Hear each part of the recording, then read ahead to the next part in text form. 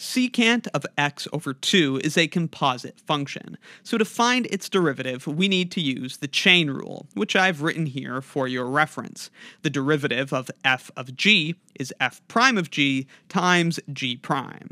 In this case, f, the outside function, is secant, and g, the inside function, is x over 2. So, applying the chain rule, to take the derivative of secant of x over 2, we first take the derivative of the outside function, leaving the inside unchanged.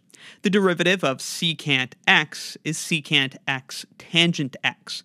But remember, we need to leave the inside unchanged. So we're going to have secant of x over 2 times tangent of x over 2.